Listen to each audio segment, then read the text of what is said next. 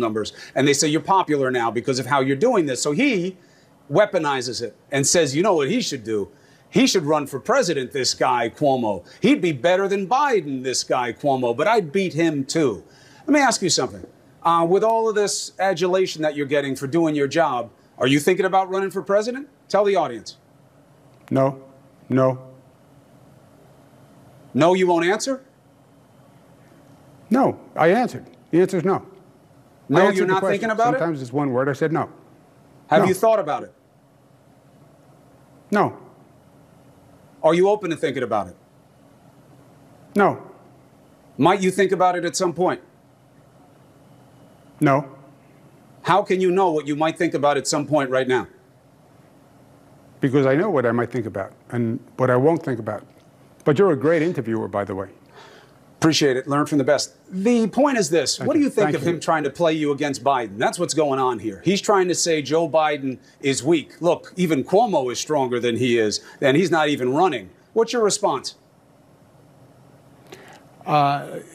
Again, that's your interpretation of uh, what you think the president was saying.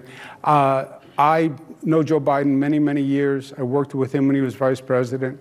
Uh, he has been a tremendous asset to the state of New York uh, when he was vice president with uh, President Obama. Uh, so I've worked with him on a professional level. I know him very well personally. Uh, I can't say enough good things about Joe Biden. Uh, so I think he's a great public servant. I think he has been extraordinary on a number of levels. I think he's a good man. I think he has a good heart. I think he has a good soul. Uh, I think he's, he's well-meaning. He's knowledgeable as heck. He has wisdom, and I think he's a leader. You know, at one point, Chris, it comes down to a simple concept. It's about leadership, right? The experience, the wisdom, the capacity to do the job. Not just think about it, not just talk about it, not just tweet about it, do the job. And uh, Joe Biden is a guy who does the job for, uh, for real Americans, right? We grew up, Right. we're middle class uh, New Yorkers.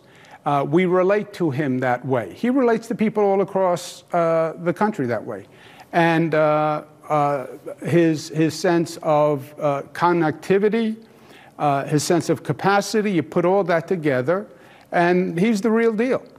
Well, we'll see. He's got to get through his primary. There's a long race.